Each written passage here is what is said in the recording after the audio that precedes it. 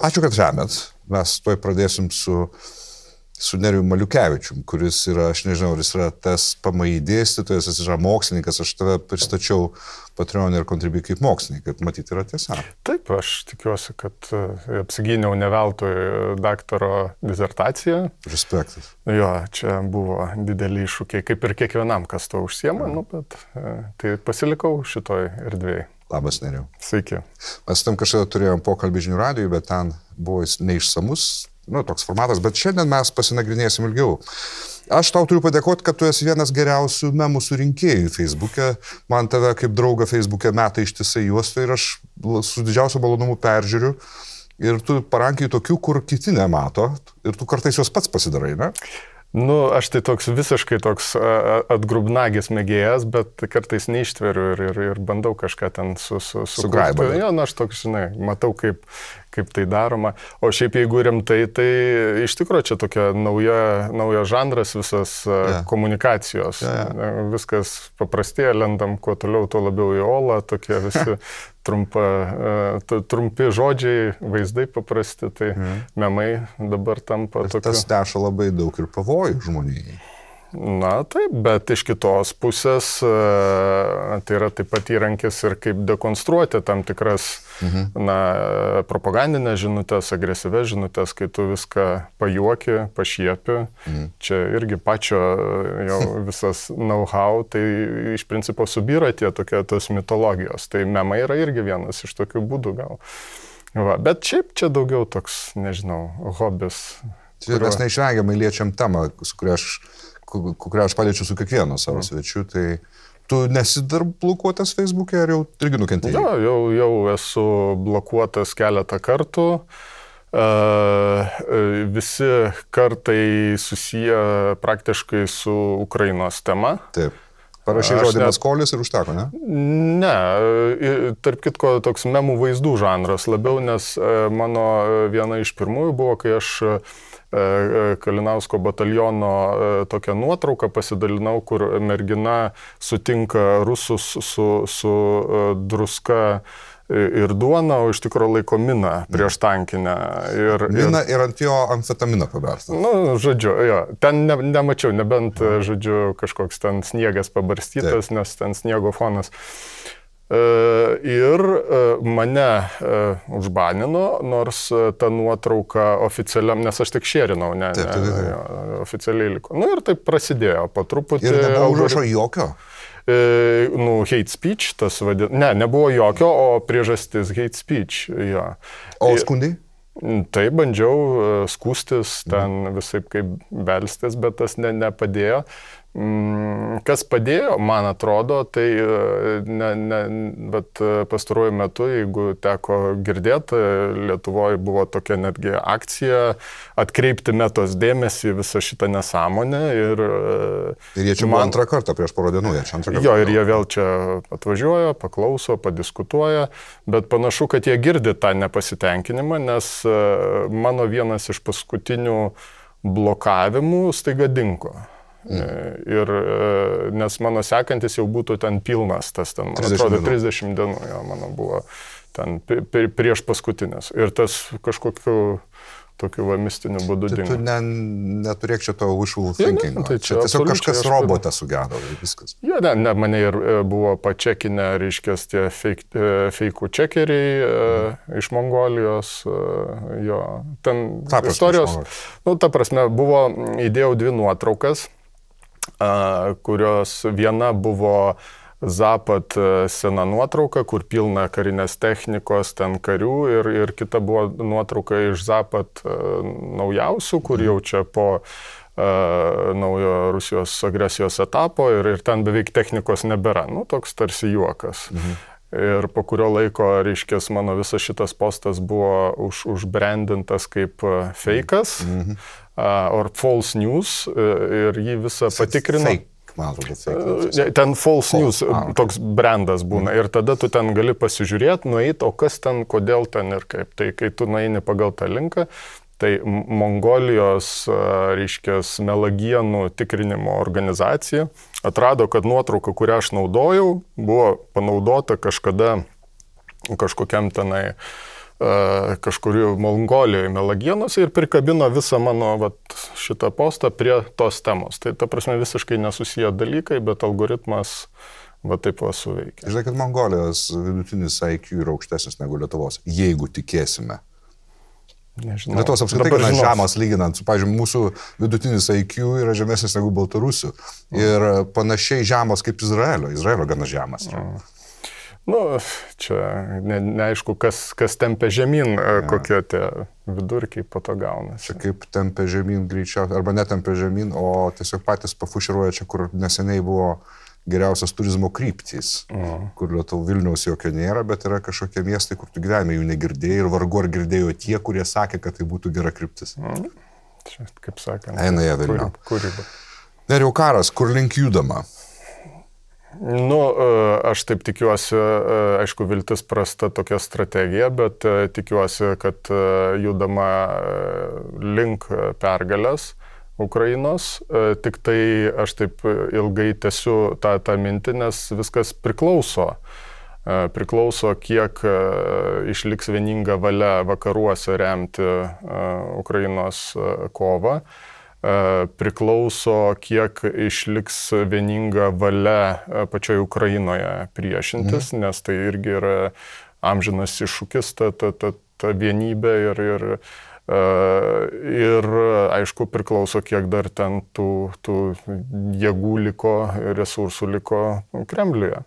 Bet tai, kad nu, Putinui viskas eina kabutėse pagal planą, o tiksliau ne pagal planą, nu, tai, tai akivaizdu. Tai, tai dabar didysis Maskvos iššūkis yra kažkaip tą E, po truputį trupinti tą, tą vienybę mūsų vakaruose. Yeah. Ir šitą prasme, čia ta mano, mano visa tema yra aktuali, nes karas tai vyksta pats tikriausias kinetinis, fizinis fronto linijoje ir šalia to vyksta visa ta propagandinė kova.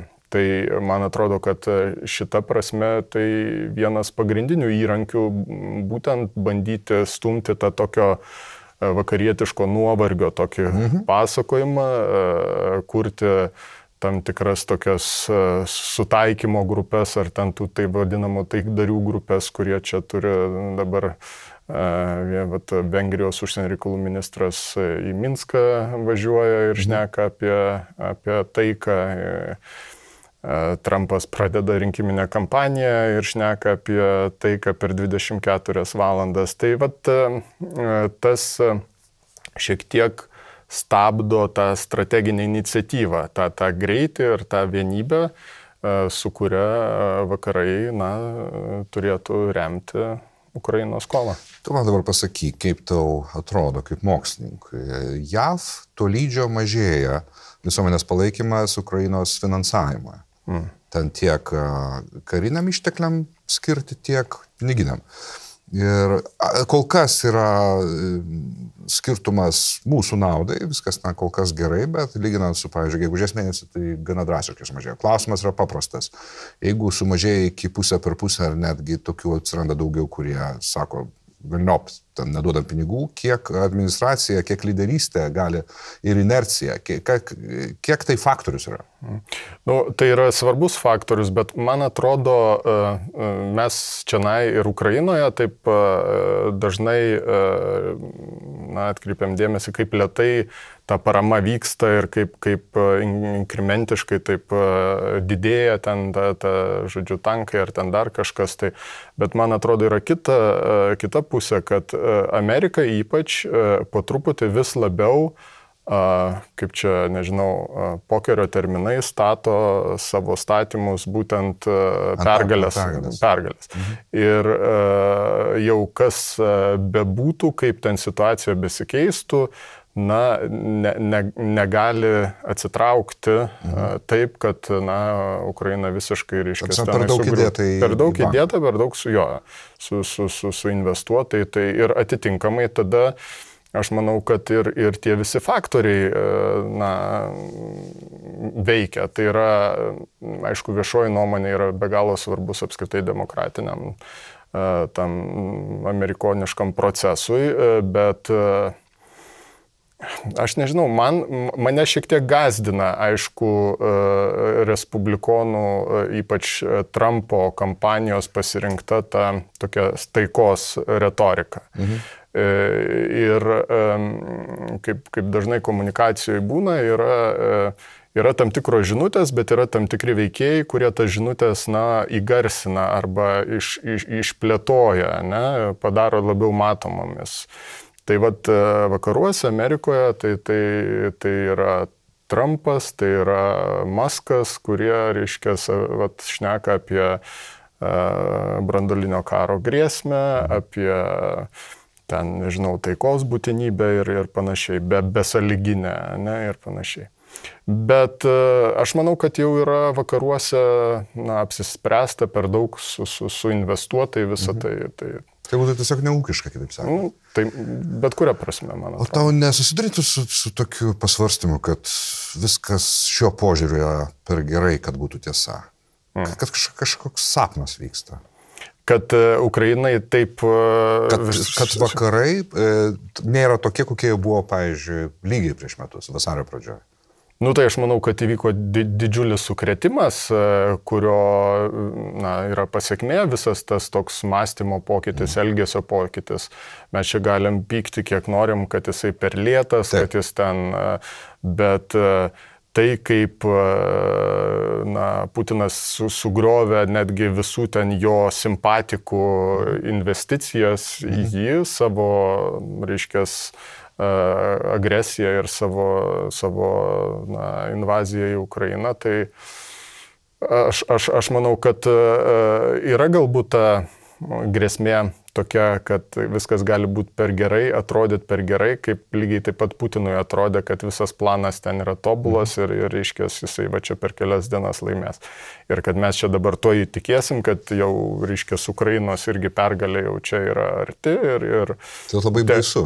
Jo, tai kad nebūtų baisu, tai nerima kas mažina. Tai nerima paprast, paprastai mažina nu, tam tikros pastangos, na, in, investicijos, parama. Ir, Ir aš manau, kad iš dalies ir, ir visos Lietuvos tas toks, toks Ukrainos palaikymas yra na, savotiškas ta toks to nepavyzdys, jo, nes, nu, tai taip, mes remiam pinigais, mes remiam visai kaip, nes mes suprantam, kad tai, to, tie istoriniai pasakojimai, kurie buvo, reiškia, iš, iš mūsų senelių apie tai, kaip, kas, kas vyko, reiškia, atėjus sovietiniai armijai, tai jie įgauna visiškai praktinį vaizdą. Ten ka, ka, vaizdai iš bučias e, ir staiga tu supranti, kad tai, kas buvo, reiškės, ten pasakojama, ar, ar kaip partizanai buvo į miesto aikšteles e, jų kūnai e, demonstruojami, tai visa tai yra vat, atsikartojimas. Atitinkamai pradeda vidiniai refleksai veikti. Tai, tai, tai pat nerimas įgauna labai tokią praktišką išraišką. Bet e, Putinas jau anksčiau parodė savo tikrąjį veidą, mes tą supratom. Aš kalbu apie Gruziją, aš kalbu apie 14 metus. Ir e, aš drįstu manyti, kad jeigu būčioje gyventų tokios, tokio atspalvio ir tokio, tokio tolimumo žmonės kaip Alepe, tai mhm. pasaulyje ir toliau būtų buvę nusispjauti. Bet čia jau kažkas truputį kitaip, čia jau krikščionis muša. Nu, čia jau Europa, čia, no. čia tuo labiau e, Putinas nepaklausė visų įspėjimų, visų žvalgybos duomenų į viešumą iš, išmestų ir, ir, ir, ir, ir, ir panašiai.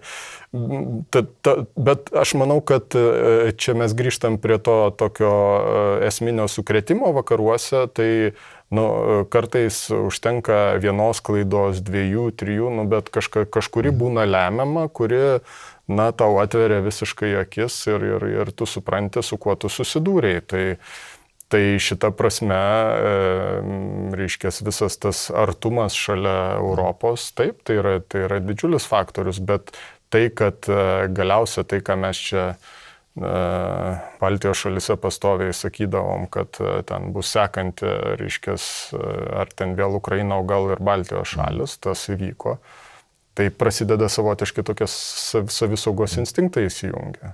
Kas link vakarų ir ypač Amerikos e, yra toks Agili Rustam Zade, jeigu tu girdėjęs. Uh -huh. Karo, e, mhm. karybos ekspertas, uh mhm. -huh. gana rimtas, kietas ir uh mhm. -huh. ką jis prieš tai sakęs yra, tai tas daug maž ir atitinka. Ir jis jo ką jis mainteinina dabar, čia prieš kelias dienas, kad mm. amerikiečiai nenori kad jie galėtų padaryti, kad pergalė Ukrainoje būtų taip, staigiai. Uh -huh. Bet jie to daryti nenori dėl to, kad ta pergalė būtų, būtų tik tai taktinio pobūdžio. Jis turėjo menį, kad po kokių dešimt metų Rusija vėl sustiprėtų ir, ir vėl būtų tas pats. Ir ką jis turiu menį, kad amerikiečiai dabar daro viską, kad Rusija būtų tiek sumušta ir pirmiausia ekonomiškai, kad jie jau nebebūtų faktorius labai ilgam. Ką tu manai? Nu, tokia uh, strategija labai skausminga pačiai Ukrainai visų pirma, nes Taip, tai, tai, tai tik tai, jo, tik tai viskas jų aukų ir kraujų pasiekiama. Aš, aš, nu, iš dalies, aš, aš sutikčiau iš dalies, kad e, šita uh, uh, mažų žingsnelių uh, strategija uh, Aš nežinau, savotiška saliamės strategija graža Putinui, ne, kaip sovietai mėgdavo tą saliamės strategiją po truputį, mm. po truputį, reiškės ja. ir žiūrėk jau tu okupuotas. Tai po truputį, jo, po truputį, po truputį ir žiūrėk jau išvargintas visai, nu, ne, ja. neįgalus.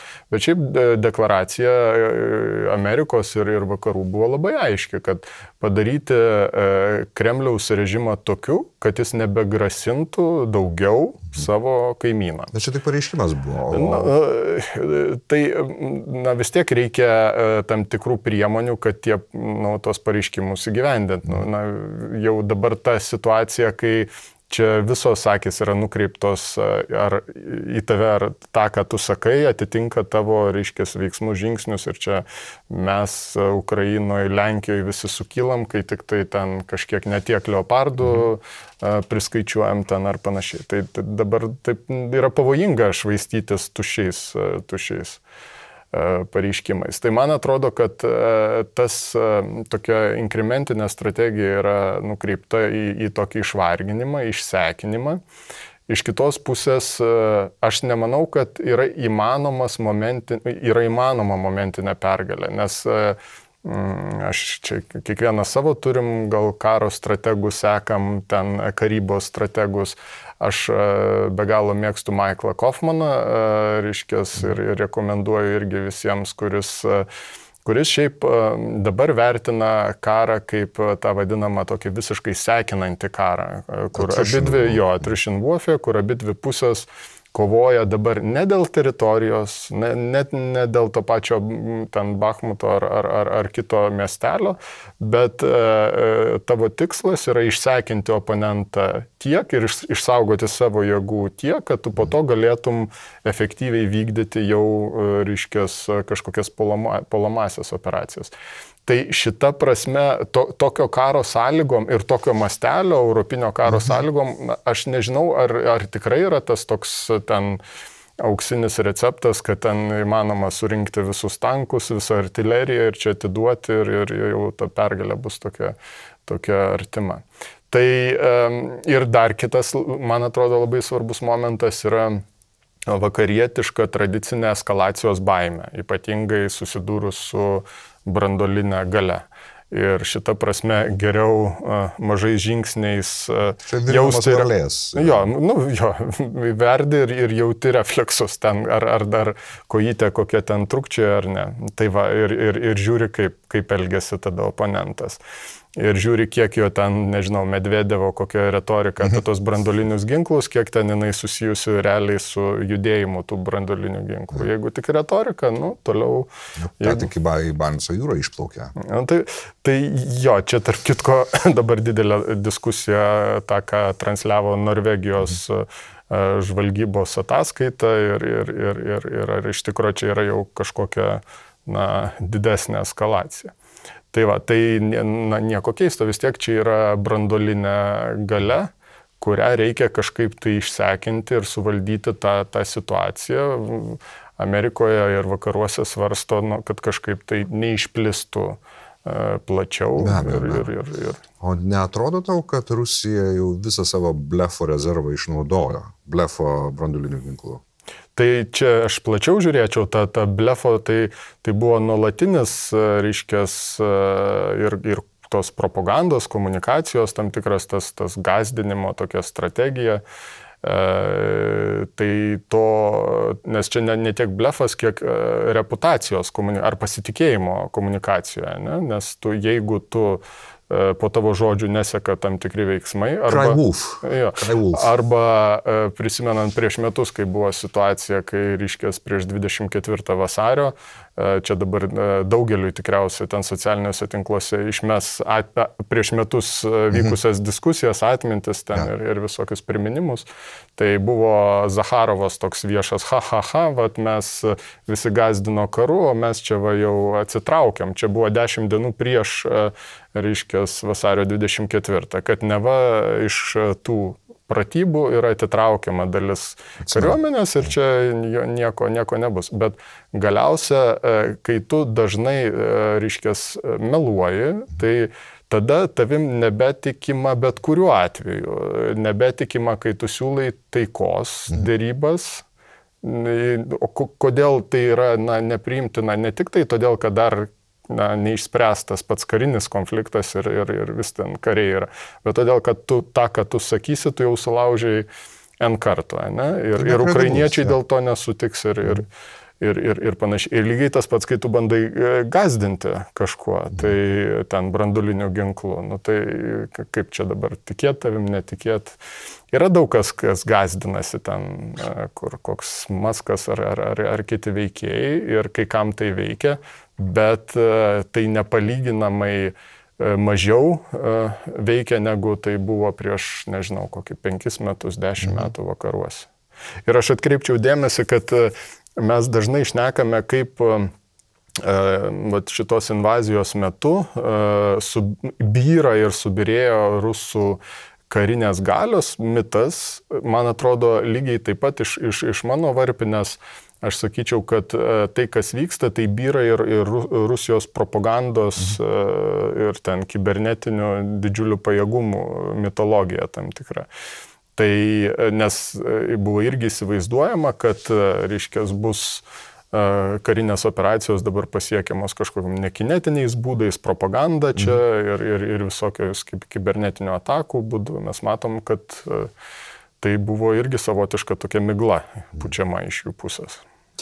Yra tokių optimistų, kurie teigia, kad e, Rusija vargu ar galėtų paleisti bent vieną savo ICBM. -ą. Mm, bent vieną tai tikrai galėtų, bet e, e, paremia savo tą optimizmą tie žmonės tuo, kad nuo pat Sovietų sąjungos griuvimo plutonis, kuris reikalingas būti keičiamas kas kažkiek laiko, nekarto nebuvo tai atlikta tenai. Na, bet e, irgi visus statymus ant to statyti. Taip drąsu. Tai, e, bet e, tai be abejo, tai kaip tankai nevažiuoja, kaip ten naujausios raketos mhm. irgi neaišku kaip skrenda, tai Bet e, Rusija visada e, turėjo kitą tokį, na, tą mastelio klausimą. Tai kariai blogai paruošti, bet jų kiekis yra mhm. neįtikėtinas. Ten tankai nevažiuoja, bet e, iš tų garažų, reiškia, vis tiek ten ištempė, nu ir jų yra tam tikras kiekis. Mm. Tai, e, žinot, kai, kai to, tokia masė susiduria su Ukrainos pasipriešinimu, tai e, reiškės, na, jau gauna tam tikrą atsaką, ne? nes Ukraina irgi tu, turi masės. Bet iš mūsų perspektyvos varstant, nu, mums tikrai labai svarbu tas visas toks NATO atgrasimas, nes nu, Baltijos šalise e, tokios masės, tokios prabangos, reiškės, e, mes, mes neturim ir, ir reikia na, mhm. mokytis pamokas iš, iš to karo, kokį mes dabar matome, stebime. Kiek tavėje Babčiamkos yra? Aš su kiekvienu pašnekovu tą klausimą paliečiu.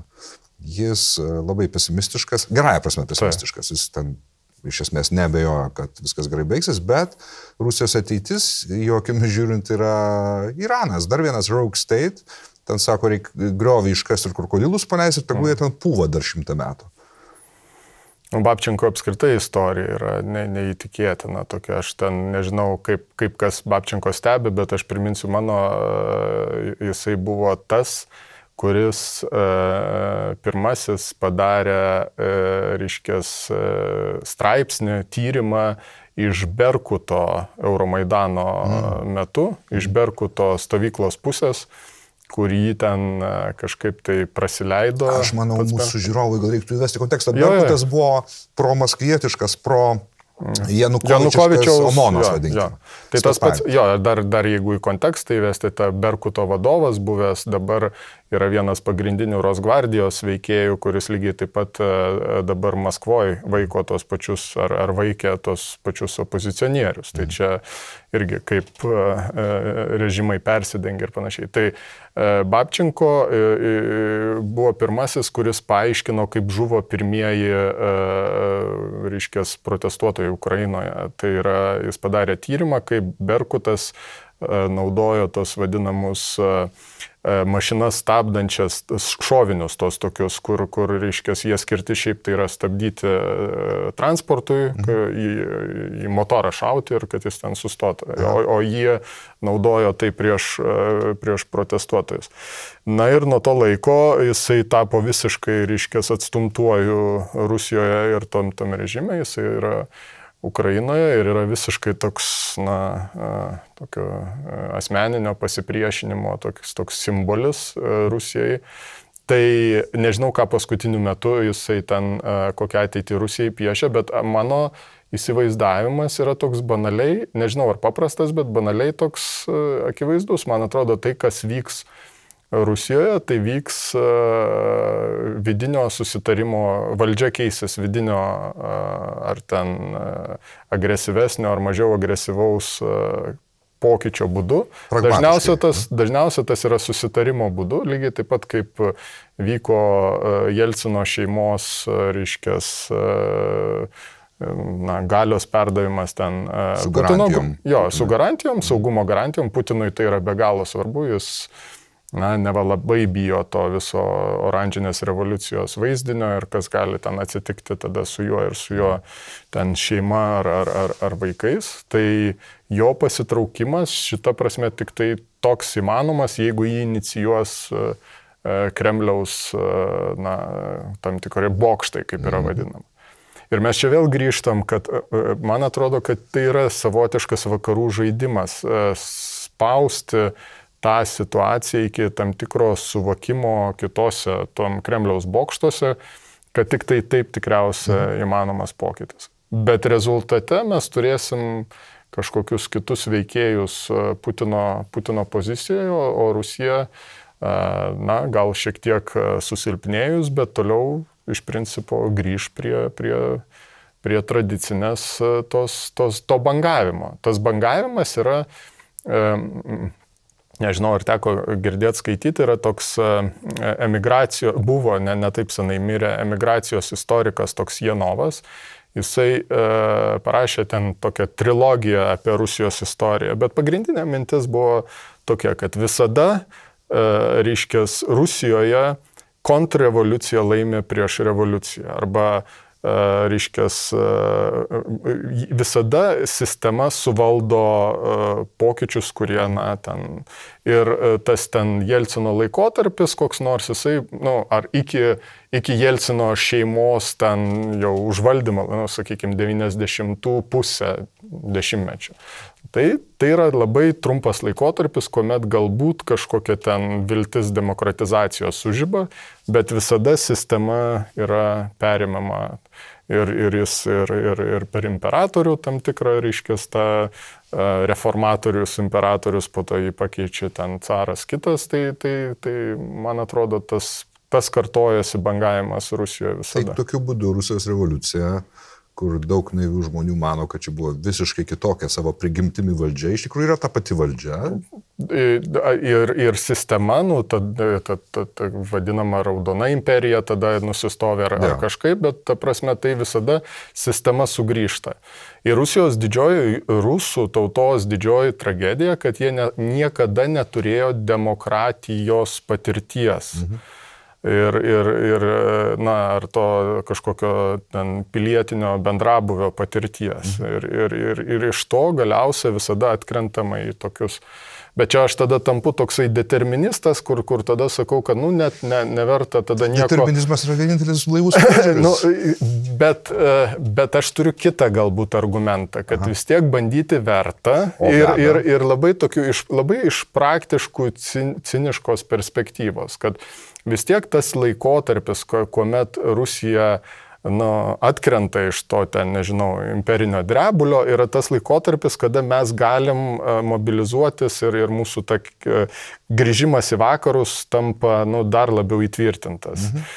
Tai tas Rusijos režimo silpnumas yra galimybė visada, visada mums. Atsikvėpti. Tai, tai va, dėja, reiškės, na, dėja, turiu omeny dėl to, kas vyksta Ukrainoje dabar, kad visa tai jų aukų, reiškės, tai yra visai Europai galimybė atsikvėpti nuo, nuo, nuo, nuo to Rusijos režimo. Rusija, kokia be būtų buvus anksčiau, pradėkim, tarkim, nuo imperijos laikų, kai ta vokietka susirašinėjo su prancūzų E, filosofais ir, ir, ir sovietmetis, aš nekalbu apie tą 19 e, amžių, tarkim, ji nebuvo niekada rauk state, ji buvo priimama, ji buvo rūka pažatnaja. Mm. Real politik tvarka, ar kaip be pavadinsi, net, net aršiausio sovietmečio metu vis tiek tai buvo. Bet ką Babčenko maintainina, -hmm. kas daug dievė, man atrodo, tai būtų nebloga išeitis, kad jį gali tapti Iranu tiesiog. -hmm. Tai yra sankcijos veiks, neveiks. E, Babčenko sako, jie turi visą Vendelėvo lentelę ir teisus, jie gali būti samodastatačni. -huh. Ir bus toks beprotis už, už, už tvoros, kur krokodilai plaukia, reiškia, šitam iškastam griuvy. Jo, tai tad, na, aš tada tokią viziją suprantu. E, čia, aišku, Irano vaizdiniui dar reiktų kažkokios tokios ideologinės, religinės e, sudedamosios, ko Rusijoje aš nieko tokio. Nu, Satanistinis pravoslavizmas. Nu, gal, gal. Bet tada, ta, jeigu tokia vizija, tada e, kuo didesnis griovys, tvoros ten ir, ir, ir tai tada yra, reiškia, išeitis atsiriboti nuo tokio. Taip, taip nu, Tad jeigu, jeigu tokia bus, bus e, Rusijos ateitis.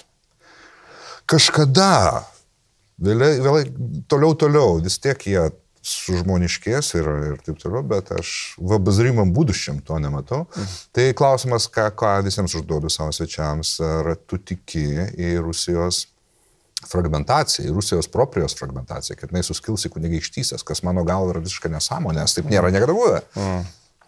Aš, aš kažkaip abejoju tokiu, tokiu vaizdiniu.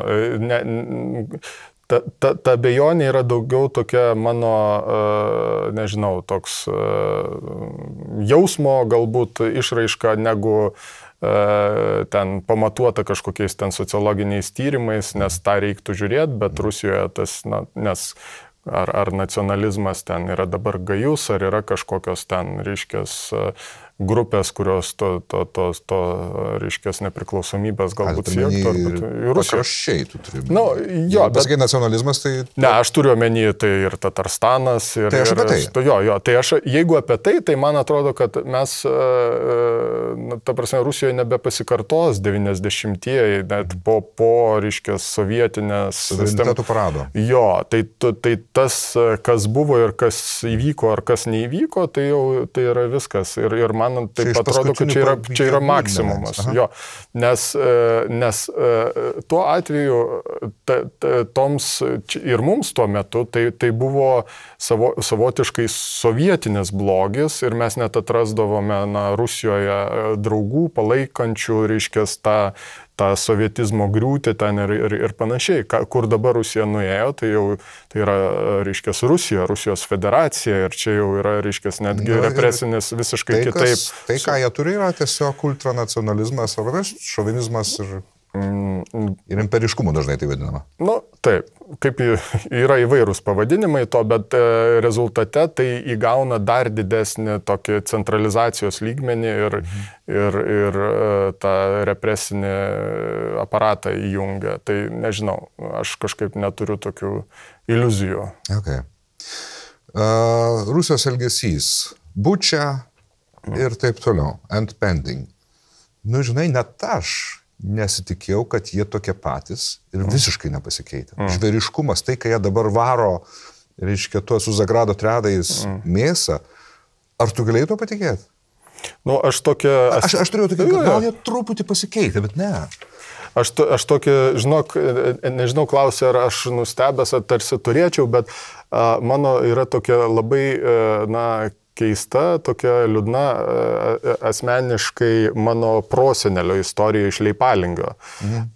Tai kodėl aš sakiau, kad va, tai, ką mes matom, po to atgyja tos tie pasakojimai istorijos, po to taip netikėtai. Tai, Tai man tiesiog, aš čia visiškai tokią asmeninę tokią istoriją savo uh, pasakoju, nes man labai keista, uh, reiškės, šeimos uh, pasakojimas keistai atgyjo. Kai, jeigu atsimeni, uh, bučiaje buvo uh, pirm, pirmi, uh, pirmos kapavietės atkastos, jo. Ir viena iš jų buvo, e, dabar ne, neatsimenu, ar, ar, ar seniunaičios šeimos, e, reiškia, visa šeima išžudyta ir, ir tas vyras buvo uh, tokiu, uh, na, šulinio rintiniuose, reiškia, su žištom rankom nužudytas, nukankintas, bet šulinį. Uh, Betoninės, jo, bet tarsi šulinys užkastas po to ir, ir žodžiu.